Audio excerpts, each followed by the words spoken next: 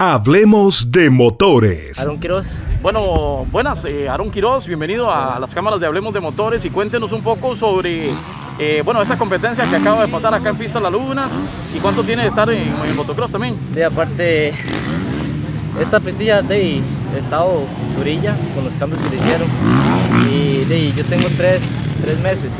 Tres meses. Estoy novato.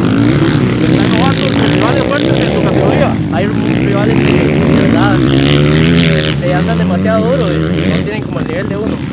¿Y cómo se viene preparando eh, durante estos tres meses? ¿Cómo ha sido la experiencia eh, tratándose que es un piloto nuevo? Hemos estado entrenando casi que todos los domingos que podamos. Vamos ya sea Lagunas, eh, Santa Rosa, Daloa y ahora que fuimos a Mango, creo que se llama. Y ahí estuvimos entrenando duro para ver cómo, cómo nos iba aquí, pero eh, a la hora que nos hicieron los cambios nos jodieron un poquillo.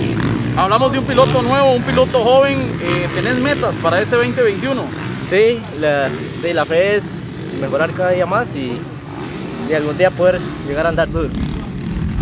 ¿Cómo se siente en la parte de la condición física y bueno, qué tipo de motocicleta tal vez? eh, Yo, bueno, ahorita de condición física sí lo jode a uno bastante porque son, usted está como muy acelerado y todo, la adrenalina le gana a uno un poco.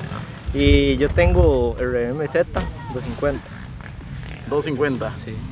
Bueno, y cuando ya estás en la parrilla de salida, ¿qué sensación se siente? Cuéntale un poco a la gente. ¿Qué, qué- qué adrenalina, lógicamente, pero también una sensación como expectativa, ¿no? Sí, realmente se siente como de todo, usted, estómago, las manos, todo, usted empieza como a sudar del- de, los nervios. Ya una vez eh, en la primera, segunda y tercera vuelta, ya uno va lógicamente agarrando Sí. confianza y pues tratando de arrebatar a los compañeros. Sí, puramente de así, un toquecillo se le quita a uno como los nervios ahí, pero di, lo pasa uno en esa nervio. Bueno, desearle suerte para el próximo hit de competencia y para los que vienen en este año 2021. Muchísimas gracias. Muchas gracias.